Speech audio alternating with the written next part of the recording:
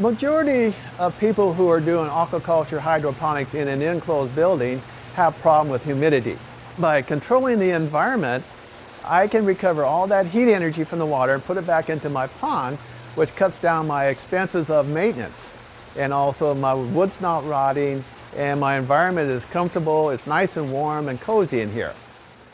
Bringing the people behind our food to life. My basic background is refrigeration, uh, service and installation. And then I got into manufacturing heating and cooling equipment for wineries. In the process of doing that, I realized that I could heat and cool fish water. I started out with an in-ground pond and in a greenhouse. We found that the, due to the conditions of too hot in the summertime, too cold in wintertime, we decided to put it indoors in a well-insulated building. So in the process of doing this, I developed a heat recovery system that will take the humidity from the air and the latent heat from that humidity, I can heat my ponds and also control the environment, the humidity, which would cause rot and other mechanical problems with rust and other equipment failures. I calculated I cut my heating costs uh, up to 70 or more percentage. And then that pumps warm water over to my vegetables, which the warmer roots causes the, the plants to grow faster.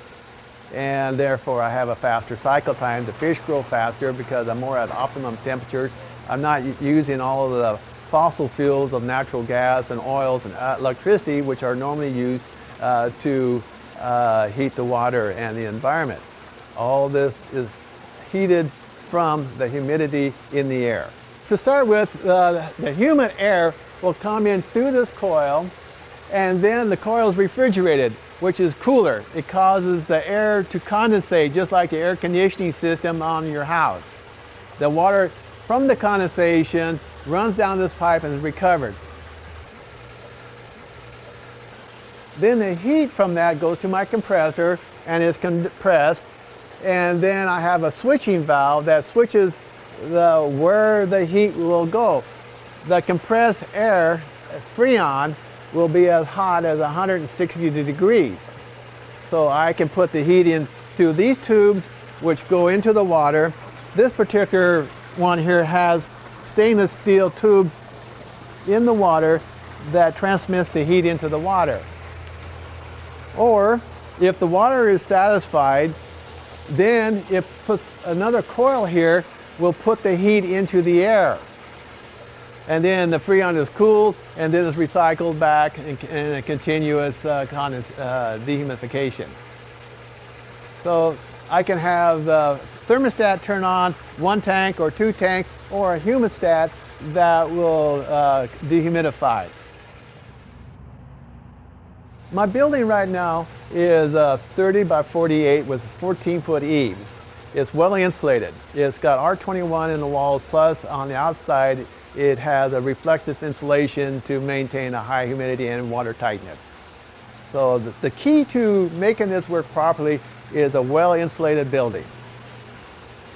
I have uh, two ponds and there's a thousand fish in the babies in the one pond, which is 800 gallons. They will be have to be thin.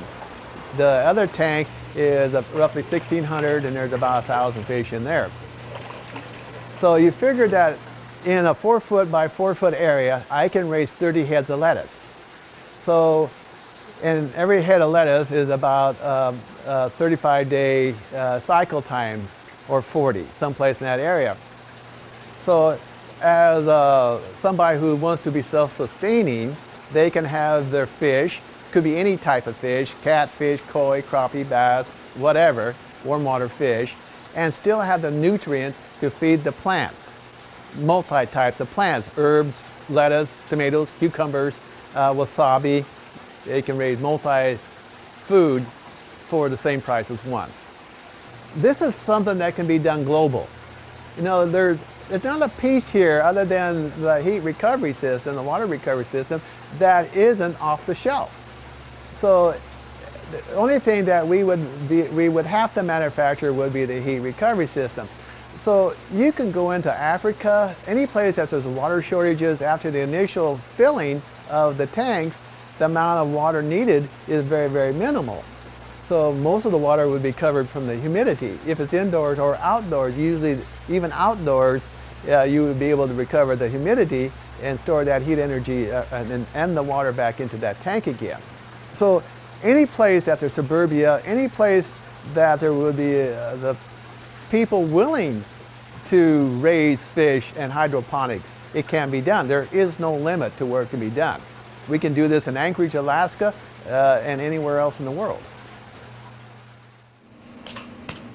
Poke a few holes in here so that they can breathe.